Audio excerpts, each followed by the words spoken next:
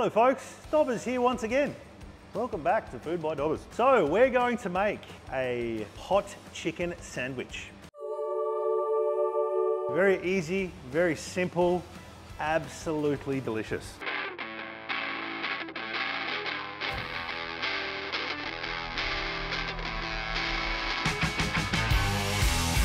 Ooh la la. We're going to be making a lovely little seasoned flour. Here I have hot paprika, cayenne pepper, sweet paprika and smoked paprika. We have garlic powder, onion powder, white pepper, black pepper, a little bit of dried oregano, and a little bit of dried mixed herbs. So what we're going to do is very simply, we've got a little bit of self-raising flour, in go all of our spices, and just with a whisk, we're gonna give that a nice little mixy mix. You beauty. Now, we're gonna put that one aside. We're going to work on the second part of our hot chicken sandwich. So, we have a little pot. We have some absolutely glorious lard. Place our lard into our little pot. Put that on the stove with the burner not on. And they've all turned off. What a jerk. Okay, so all we're gonna do is place that onto the stove on a high heat. What we want to do is bring that to 100 degrees Celsius. Now, here I have ready to go. Hot paprika, some sweet and smoked paprika. Yes, some dried oregano, onion powder, some garlic powder, some white pepper, black pepper. We've also got malt vinegar, honey in the cutest little squeezy bear honey bottle you've ever seen, and some Tabasco sauce. So all we're gonna do is bring that fat up to temperature. We're gonna add in all of our spices, and then once our spices, we're gonna take it off the heat and then whisk in our liquids. So we've got spices, we've got extra spice, we've got sourness and sweetness. So you've got this beautiful zingy, spicy little glaze, which we're gonna glaze over the chicken once it's deliciously fried. All right, now we just have to wait for our fat to come up and ooh la la.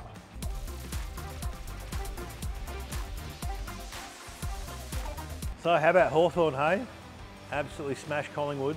Okay folks, so our pork fat, or AKA lard, has come up to temperature. Just melted there beautifully. Whisk in our spices. Now the reason why we bring, up, bring it up to temperature is that temperature and heat helps toast off and draw all the flavors out of that spice. As soon as those spices go in, she's ready to roll. We're gonna hit that with some Tabasco. I like to be quite generous with Tabasco. I absolutely love Tabasco. No inferior alternative, folks. Don't stand for it. Got a little splash of malt vinegar.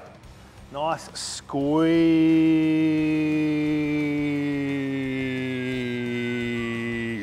of honey. Give that a little whisk. Now all those liquids that go into the hot lard. They stop the cooking process, not allowing our lovely little glaze to overcook and burn the spices. Have a look at that. Nice and split, slightly thickened. Let's have a quick taste. Ooh la la. In my opinion, more Tabasco. Always more Tabasco. Let's finish it off, mate. And bam, down she goes. There you go, folks. Hot chicken glaze, Nashville style. But remember, I'm no expert. Oh, oh, Jesus, that's got some gumbo. Woo! That's just the way we want it though. Next step, ranch sauce. I'm not sure whether ranch traditionally goes with this. I personally like ranch with slaw, sour cream, those other flavors, the mayonnaise, garlic powder, the onion powder. All those beautiful flavors match perfectly with the spice in the chicken. Adds a nice hot and cooling touch. Here we have mayonnaise, sour cream, onion powder, garlic powder, a little bit of black pepper, my favorite herb, dill. Very, very simply. Transfer these to a bowl, chop up this dill. This is a hot chicken sandwich, you don't have to be too fancy with it. Keeping in all those stems, because all those stems have beautiful flavor into the bowl. I'm unsure if dill traditionally goes in ranch. Could put chives, seen recipes with chives and dill. This is just my version of, folks. You know, the beautiful thing about cooking and creation is that you can pretty much do anything you want to anything and still sort of call it that. That's the beautiful part. Let's have a quick taste. Oh, absolutely lovely. However, needs just a little bit of salt, splash of vinegar, just to give it a bit more tang. Oh, baby. Red sauce comes out, ready for later. Well, folks, it's time to make some coleslaw. Many different ways to skin a cat. Many different things can go into coleslaw. I'm gonna show you what I like, but in the end of the day, you can do whatever you want. If you like carrot in your coleslaw, add carrot. If you like, if you like to use red cabbage in your coleslaw, use red cabbage. Me personally, I like a nice white coleslaw because the contrast between the lovely red chicken and the white slaw, beautiful. Got one little white onion, dice this up. In the onion goes. Now I've got a lovely little quarter wedge of white cabbage. As fine as you can get that. If you want to use a mandolin, you can. If you want to slice it by hand, you can. If you want to use a vegetable peeler, get it even finer, you can. Then folks, in we go. To this, we're going to add our lovely little ranch sauce. Give this a little taste, check the seasoning. Just a little bit of black pepper. Our lovely little ranch slaw is ready to go. Next step is to get our breading station ready. People say buttermilk fried, people say batter fried, people say egg wash. Me personally, I like to use just egg whites. The reason being, an egg is made up of fat and protein. All the fat is in the yolk, all the protein is in the white, mostly. Now the reason I don't use yolks is because the fat from the yolks stops the batter from going crispy. One more can't hurt. I'm gonna show you another little easy way to remove egg yolks from eggs to separate them. As opposed to cracking them, cracking with your fingers, doing the two cup method with both sides of the shell, crack them into the bowl ever so carefully to try and not break the yolks. And then with your fingers, you can lift them out and all the egg white comes off. Aha, so one has broken. This is good because I can actually show you something else. If we try and pick this little egg yolk up with our hands, it's, all that's gonna happen is gonna mix through all those whites. And we don't want that because all we want are the egg whites. We don't want any yolk. Crack one more little eggy, keep the shell. We'll peel this one out. If ever this happens, you can actually use the eggshell to get that egg yolk out of the whites. Ever so carefully.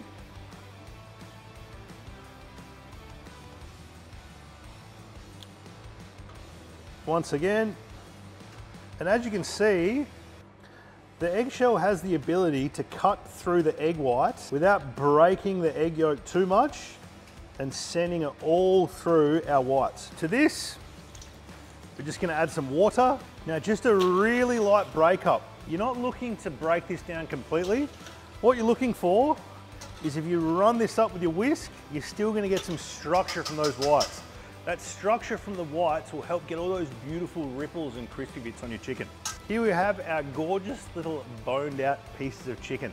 We have our seasoned flour, seasoned spice flour. We have our broken down egg whites. Now, it's a simple matter of dry, wet, dry. What I'm gonna do here is, here's my lined sheet pan with a little bit of baking paper. Just gonna sprinkle a little bit of flour onto that tray so when we place our breaded chicken onto it, it won't stick. We won't lose any of that beautiful coating. Just like the good old days, one dry hand, one wet hand. So in we go. Already messed it up. It happens. Now, it's important with this, you don't wanna get your hands in there, you don't want to smash it about. The more you try and press and touch and fiddle with, the more you're going to break up that beautiful coating of egg whites around the chicken. I'm going to show you one little secret which I've learned along the way. So this technique is called skanking up the dredge. No joke. So all we're gonna do is pour a little bit of that egg white water mixture into our flour. We're gonna mix that round and what's gonna happen is the texture of this flour is gonna go to a pretty fine breadcrumb, but all those little chunks of egg white and flour are gonna help stick to the chicken and give you the most gorgeous little ripples. And it's gonna, be, it's gonna give you that fried chicken that you dream about, folks. It looks a bit like breadcrumbs, AKA skanking up the dredge. We place our chicken back into our flour. Now we don't wanna overcrowd the bowl too much, very gently. What you don't wanna do is really press it down because all you're doing, all those beautiful little bits and ripples of flour that have stuck to the extremities of the chicken. All you're doing is flattening those down. Caress it. Love it. And there you go, folks. So you see all those little ripples, all those little bits? When they fry, they're gonna be absolutely stunning. Have a look, see all those gorgeous little ripples? When they fry, it's gonna be absolutely stunning. I'm gonna come around because we're gonna go into the fryer. Our hot chicken sandwich is almost ready. Got a couple of gorgeous little brioche buns. There they are. We've got our ranch, we've got our slaw, absolutely stunning chicken. Our deep fryer has been preheated to 165 degrees. We're gonna cook these little chicken thighs for between five to six minutes, depending on doneness, because two different sizes of chicken, all fries are different, nothing is the same wherever you go. So you gotta adjust things. Realistically, they shouldn't take any longer than six minutes to cook. Very gently, we're just gonna lower these into our oil, just like so. You beauty. Hey Google, set a five minute timer. Second timer for five minutes. And we're starting now. There we go. You can see all those gorgeous little ripples in the chicken. That's what I'm talking about, folks. Absolutely stunning. Now we're gonna let that do its thing. We're gonna toast off our lovely little brioche buns. We've got some softened butter. We've got a little pan on a medium heat. Let's give it a nice generous coating of butter. And into the pan they go. Now just gonna smear a little bit of butter on the base, smear a little bit of butter on the top, because we're gonna toast both sides, folks. Remember, folks, nice medium heat. Not too low, not too high. If you toast the bun on a high heat, very crispy, high chance of burning it, but the center of the bun is not warm. If you toast on a low heat, it'll just sit there forever and do absolutely nothing. Nice medium heat, watch it, touch it, feel it, love it. Oh yeah, glorious. Who doesn't love a hot bun? We're going to get the buns ready. Now, got some of this beautiful, beautiful little ranch sauce. That goes onto the top bun. Absolutely lovely ranched up slaw. That goes on to the bottom bun. Don't be shy with that slaw, folks. Now, chicken has one minute to go. Remember, folks, thermometer. Your thermometer will never lie to you. Ready? Ready? Ready? And phone's on silent. Yeah, nice work, Dobbers. Probe the small bits. 72 degrees. Little ones are ready. Have a look at the crispy bad boy coating on those. Now let's probe the big ones. This says 89, I don't believe that, not for a second. One piece at 60 degrees, you just don't get that. So, as I said folks, three pieces ready in five minutes. We're just gonna give one, one more minute to get to temperature. Now our chicken is looking fine. Have a look at these glorious little ripples. If that isn't the piece of fried chicken from your dreams, Tell them they're dreaming, mate. Ooh la la. Here comes the fun part. So I got this gorgeous Nashville style glaze. Oh, oh. Glaze up all those bits of chicken like that, like this. Jesus. There you go. Here is my hot chicken sandwich. Beautiful fried chicken, beautiful slaw, beautiful ranch, lovely glaze. Doesn't get much easier, doesn't get much simpler, doesn't get more absolutely gorgeous than that, folks. Ooh la la. Ooh la la.